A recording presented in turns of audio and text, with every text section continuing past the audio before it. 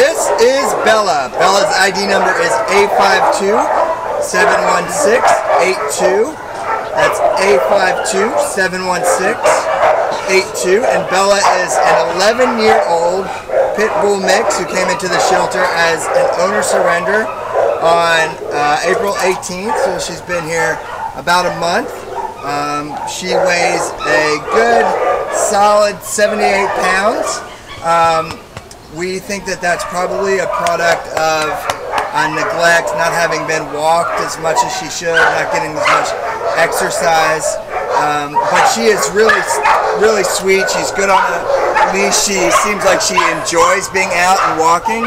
So uh, we would love for Bella to get into a home where she can actually um, go out on, on good long walks um, throughout the neighborhood. Probably not like up in the, the mountains necessarily as a start. Uh, start around. Oh, look at this. Uh, I'm sorry. We just have to stop for this uh, insane kissing. Uh, she is just so lovable. Uh, we really want Bella to have uh, an amazing rest of her life. Um, she was with a family for all this time and then found herself at the shelter where she doesn't really know this environment and, and we'd love for her to get just an amazing home. Um, Bella seems to be non-reactive to other dogs. She is a, a, a people girl for sure. So, uh, but she does seem to be good with other dogs. Uh, what else can you tell us about the amazing uh, Miss Bella here? Well, yeah, I mean, I'm theorizing that she's been uh, largely just kind of uh, maybe kept in the house, locked in a room, perhaps. Uh, she's very eager to explore. She she she could use a little bit of leash work, but she's actually not that difficult to walk. Um, but yeah, she's just eager to go check stuff out. I have a feeling, I get the sense she's trying to make up for lost time. And you know, for all that time that she spent being neglected, she's such a sweetheart. You know, um, I think it's amazing. It speaks to the resilience of the breed um, that she can be so sweet and loving with literally everyone that she meets. I mean, she's been such a friendly girl just in the brief time that I've had her out in the yard. Uh, she gets along great with dogs, like you mentioned. So really, she can go home with just about anybody.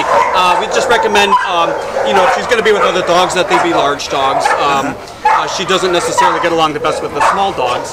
Um, but you know, she needs the exercise. It would be great uh, if she uh, ended up with a somewhat active family that was willing to take her on walks. But obviously, she's not going to be climbing to the top of the tallest mountains, and she's very good at being a couch potato. So if you're looking for somebody to snuggle with uh, and who gives lots of affection, this is definitely your girl. Yeah, and she'd probably be better with um, older kids just because of her size. Mm-hmm. Uh, we wouldn't want a little kid walking her because she is she is strong. Um, we do think that with regular walks, she'll uh, get into a little bit better shape. She'll um, uh, slim down a little bit. So, and some good food as well. She's probably not been having uh, quality food. So, uh, we would love for you to come down, meet Miss Bella. I know I got some kisses from her earlier.